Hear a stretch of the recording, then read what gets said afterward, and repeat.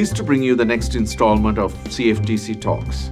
Today we present the research from Dr. Richard Haynes and Dr. Lihong McPhail of our Chief Economist's Office, assessing the impact of the leverage ratio on the competitive landscape of US derivatives markets.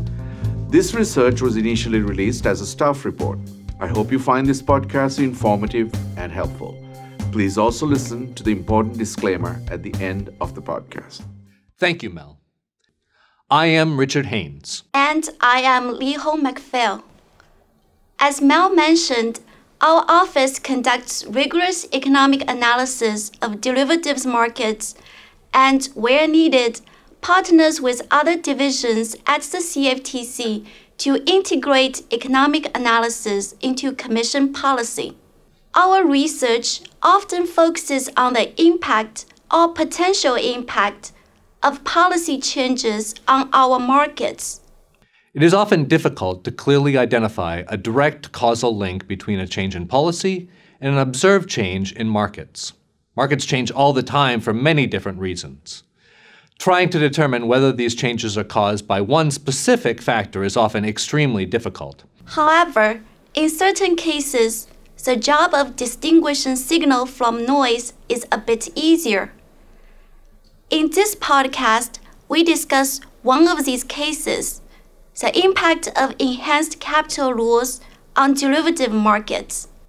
After the financial crisis, international regulators agreed to implement a number of financial market reforms. Included in these reforms was a requirement that banks hold more capital to cover unexpected losses during financial stress. Capital can roughly be thought of as the difference between the assets and the liabilities of a bank. In recent years, increased capital requirements have been implemented around the globe, leading to a safer and more robust financial system. Still, regulators continue to analyze how capital is best distributed across a bank's business lines as well as how large a bank's capital buffer should be.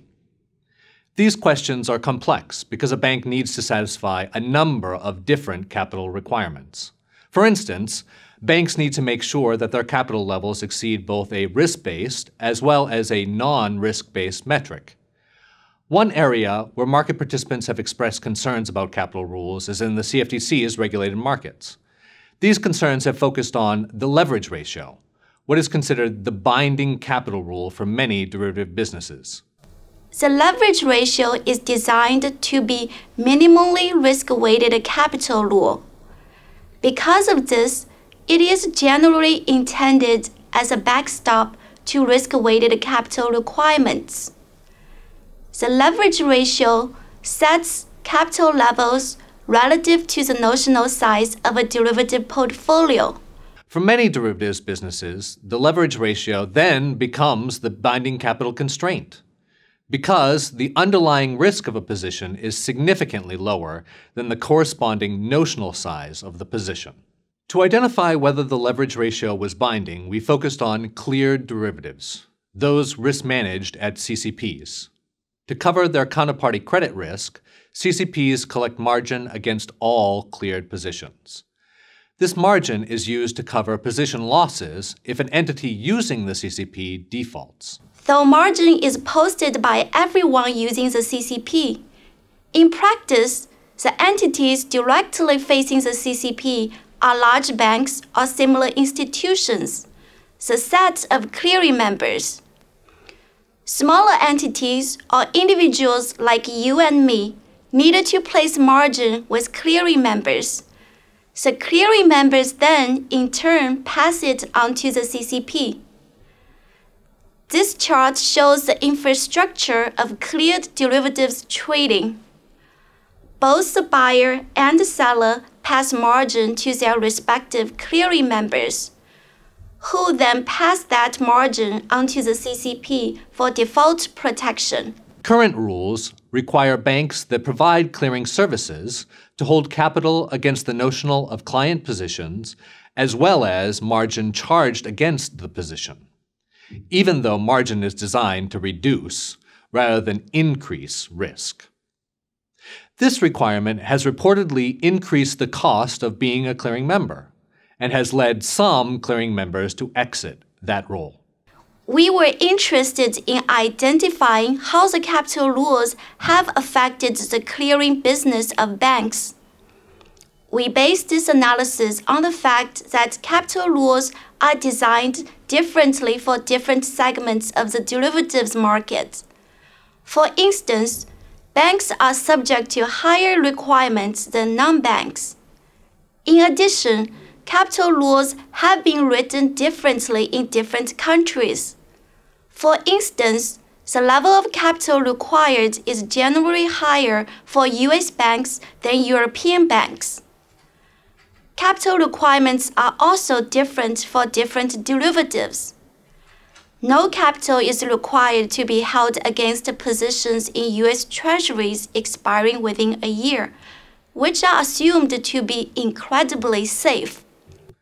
In contrast, a much higher level of capital is required for positions in equity indices like the S&P 500 for a similar maturity.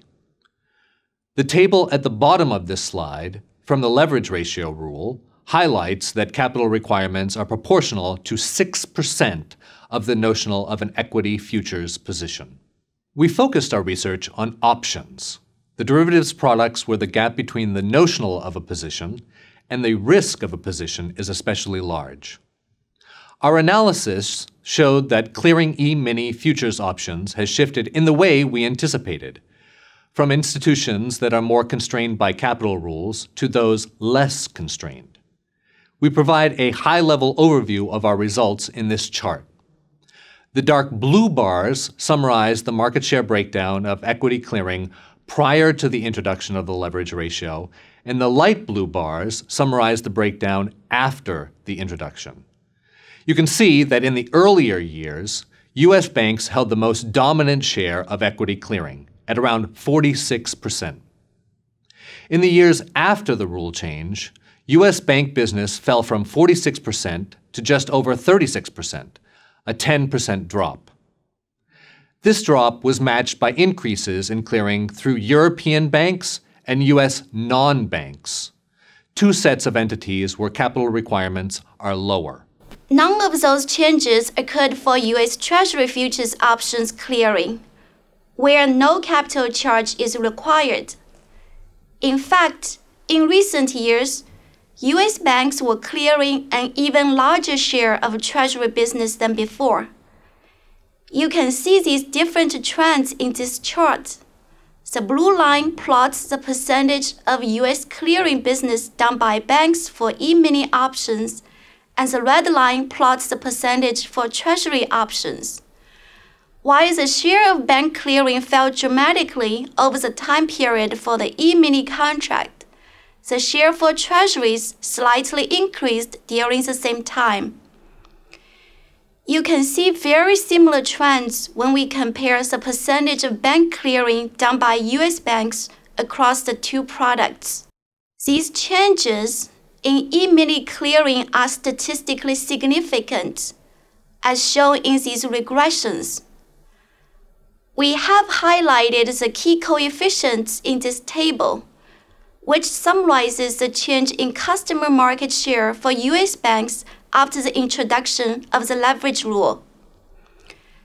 This coefficient is negative and significant, indicating a loss of market share for US banks for E-mini options. In contrast, this coefficient is positive and insignificant for Treasury options.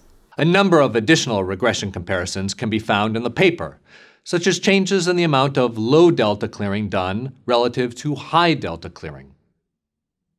The CFTC has not been the only policymaker interested in this set of questions. International regulators have taken initial steps to address these market effects. The Basel Committee on Banking Supervision, the international standard setter for capital rules, is now seeking comment on whether risk mitigating margin should require capital. In addition, U.S. regulators, such as the Federal Reserve, have proposed a different, more granular method to calculate capital required for derivatives. We would like to thank you for listening to this podcast. Hopefully, this has helped you understand markets, policy, and the interactions between the two a little bit better. Again, more details about our work can be found on the CFTC website, as well as a number of other research and white papers written by our office. Thank you again. The CFTC is providing this information as a public service, and it is neither a legal interpretation nor a statement of CFTC policy. Reference to any specific product, service, trademark, manufacturer, or service provider does not constitute an endorsement or recommendation by the CFTC. The CFTC is not liable to any consumer or any third party or any direct, indirect, incidental, consequential, special, or exemplary damages for lost profit related to the use of the information provided or referenced in this podcast. Selection of guests on the podcast does not imply an endorsement of any particular individual or entity. Many individuals and entities provide similar services to those of the guest. The views and opinions expressed by the guests in the podcast are their own and not specifically endorsed by the CFTC. Moreover, the information provided in this podcast should not be construed as investment advice. Consumers should rely on their own inquiries as to accuracy and relevance of the information incorporated or referenced in this podcast and assume the entire risk related to its use. The CFTC is providing its interpretation of market trends solely to inform the public of a framework for projecting possible outcomes under different scenarios. If you have any questions concerning the meaning or application or a particular law or rule administered by the CFTC, please consult an attorney.